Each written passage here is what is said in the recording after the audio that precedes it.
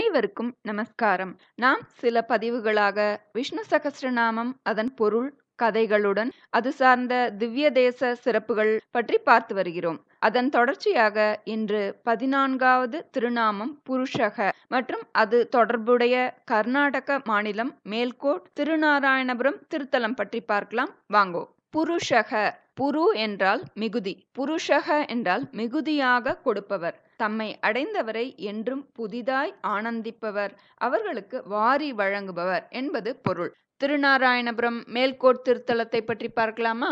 ராமானுஜரின் அபிமான ஸ்தலத்துல ரெண்டு திருத்தலங்கள் மலைமேல் கோட்டையில் அமைந்துள்ளது. நரசிம்மர் திருத்தலம் திருநாராயண திருத்தலம். இங்க நரசிம்மர் யோக நரசிம்மராக இருக்கிறார். கீழே கல்யாணி தீர்த்தத்திலிருந்து நானூறு படிகள் ஏறினால் இந்த யோக நரசிம்மரை நாம் தரிசிக்கலாம். மகாவிஷ்ணு பிரகலாதனுக்காக நரசிம்ம அவதாரம் எடுத்து ஹிரண்யனை வதம் பண்றார். தன்னுடைய தந்தை இறக்க காரணமாக இருந்ததுனால பிரகலாதனுக்கு பிதுர்ஹத்திய தோஷம் ஏற்பட்டது. அதை போக்குவதற்கு விஷ்ணுவை தவத்துல இருந்தார் பிரகலாதன். அவருக்கு யோக நிலையில நரசிம்மர் காட்சி கொடுத்தார். அந்த காட்சி வடிவத்தையே பிரகலாதன் இங்க பிரதிஷ்டை செய்தார். அதனால் வேண்டியது அனைத்தும் நிறைவேற்றி வைப்பவர் இந்த யோக நரசிம்மர்.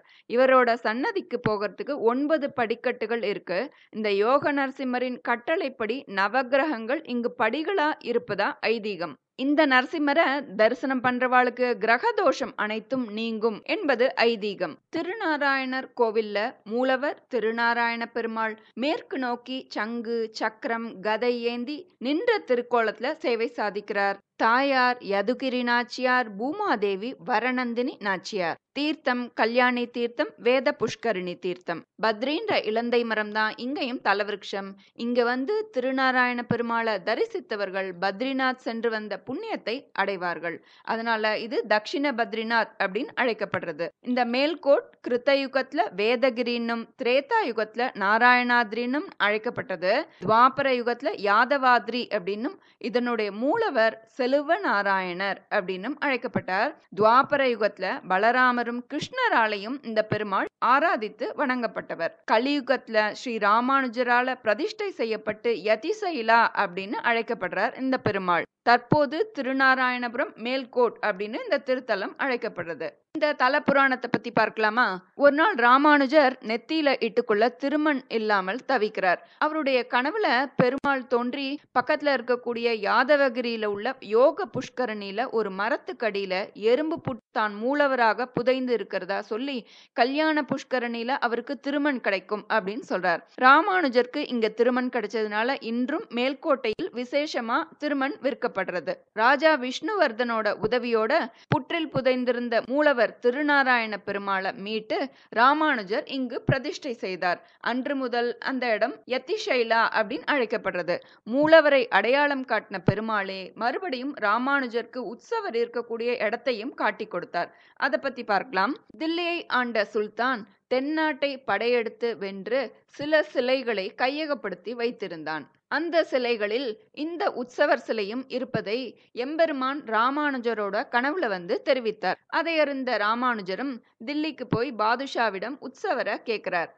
ராமானுஜரின் கீர்த்தி தேஜஸ் அவருடைய தெய்வீக கலையினால பாதுஷாவுக்கு அவர் மேல ஒரு அபிமானமும் மரியாதையும் உண்டாருது. அதனால அவரை விக்கிரகம் இருந்த இடத்துக்கு நேராக அழைத்து செல்றார் பாதுஷா. இங்கு பல சிலைகள் இருக்கு. உங்களுக்கு எதுன்னு தெரிஞ்சா நீங்களே எடுத்துக்கொள்ளுங்கள் அப்படின்னு சுல்தான். ராமானுஜரோ நானும் பார்த்ததே இல்லை. ஆனா நான் வா என்று அழைத்தால் அவன் ஓடோடி வந்து என் மடியில் அமர்ந்து கொள்ளுவான்னு சொல்லி நம்பிக்கையோட என் செல்வ பிள்ளையே வா அப்படின்னு சொல்லி அழைத்தார். எந்த சிலைகளிலும் அசைவே இல்லை. இருந்தாலும் நம்பிக்கையை தளர விடவில்லை. நீங்கள் எடுத்து வந்த எல்லா விக்கிரகங்களும் இங்கே தான் இருக்கா? அப்படின்னு சொல்லி கேட்டார் ராமானுஜர். அதற்கு சுல்தான் என்னுடைய மகள் ஒரு சிலையை மட்டும் எடுத்துன்னு போய் விளையாட்டு பொம்மையா வச்சுன்னு விளையாடின்னு இருக்கா?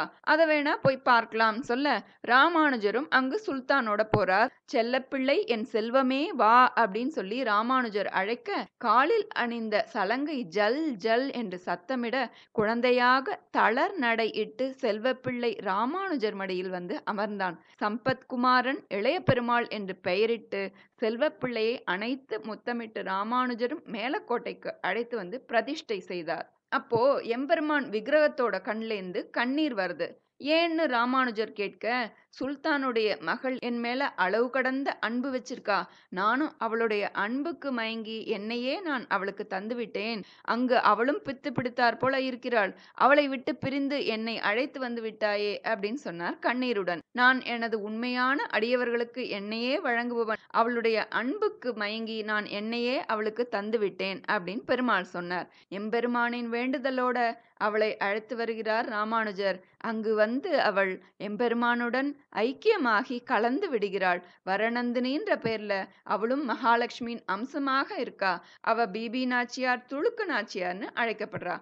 புருஷக என்றால் பக்தர்களுக்கு தன்னையே பரிசாக வழங்குபவன் அப்படின்னு அர்த்தம். விஷ்ணு சகசிரநாமத்தின் பதினான்காவது திருநாமமான புருஷாய நமக என்று சொல்லி வரும் அடியவர்களுக்கு வாழ்க்கையில் மிகச்சிறந்த பரிசுகளை கொடுப்பார் அந்த பெருமாள். நாமும் புருஷாய நமக என்று ஜபித்து அந்த எம்பெருமானின் அருளுக்கு பாத்திரமாவோம். அடுத்த பதிவில் அடுத்த நாமத்துடன் சந்திக்கலாம். நன்றி வணக்கம்.